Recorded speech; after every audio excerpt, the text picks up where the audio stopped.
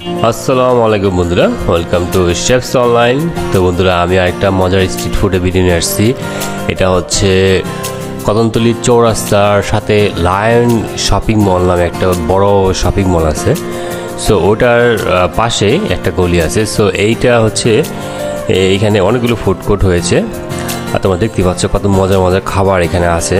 So আমি order করেছিলাম এবং অন্য অনেক কাস্টমার খাচ্ছিল তোমরা দেখতে পাচ্ছ যে যিনি স্ট্রিট শেপ উনি খাবার তৈরি করছেন।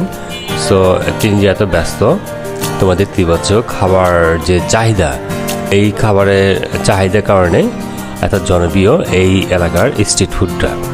সো আমি এই জন্যই রাত্রেবেলা ভিডিওটা করে তোমাদের দেখাচ্ছি এই স্ট্রিট ফুডটা। ইউজুয়ালি রাত্রেবেলায় শুরু হয় সন্ধ্যা পর থেকে সো আমি সন্ধ্যা পর গিয়েছিলাম।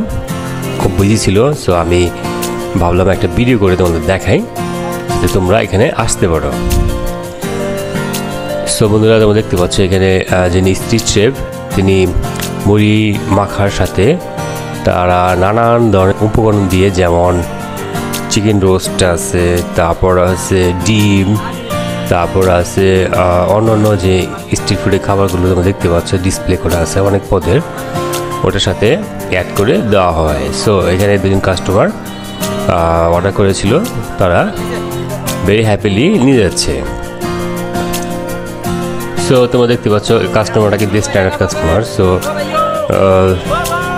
এই খাবারগুলো স্ট্রিট ফুড শেপ তিনি বিক্রি করতেছেন। সো স্ট্রিট ফুডের খাবারগুলো সবসময়ই সুস্বাদু হয়, কারণ হচ্ছে এর জনপ্রিয়তা এবং ডিফারেন্স শেপগুলো থাকে এবং বিভিন্ন ধরনের শেপের বিভিন্ন রকমের স্বাদ থাকে। তো এই জন্যই স্ট্রিট ফুডগুলো এত মজার হয়। সো বন্ধুরা আমি অর্ডার করেছিলাম মুড়ি মাখা। সো আমি ইউজুয়ালি স্ট্রিট ফুডগুলো খাই। সো এটি একটু আনকমন ছিল স্ট্রিট ফুডের ডিসপ্লেগুলো আমি খুব খেতে ইচ্ছে করতেছিল, আমি খেয়েছিলাম। সো বন্ধুরা, তোমরা এখানে আসতে পারো। আসলে এই মজার স্ট্রিট খেতে পারবা। সো এখানে কিন্তু কদমতলি চৌরাস্তা যেটা মানে নয়াবাজার ব্রিজের ওপার। এখানে লায়ন শপিং মল যেটা আছে, বিশাল বড় এক শপিং মল তার অপোজিট পাশে আছে স্বপ্ন সুপার শপ। তো এখানে দেখতে পাচ্ছ স্বপ্ন সুপার শপ আছে, তারা এখানে বিজনেস করছেন। সো খুব একটা জমজমাট এলাকা। সো এখানে লায়ন শপিং মলে অনেকগুলো ফুড কোর্ট আছে। আমি গ্র্যাজুয়ালি তোমাদের ভিডিও করে দেখাবো যাতে তোমরা এখানে এসে খেতে পারো।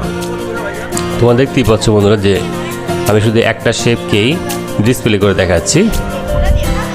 যাতে তোমরা বুঝতে পারো যে কি পরিমাণ বিজি উনি কিন্তু একটু রেস্ট নিচ্ছে না, একটা পর একটা অর্ডার তৈরি করছেন।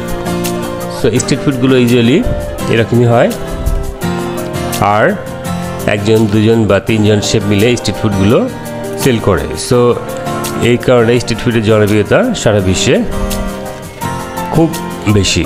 সো বন্ধুরা, আজকে ভিডিওটা ভালো লাগলে অবশ্যই লাইক কমেন্ট শেয়ার করো।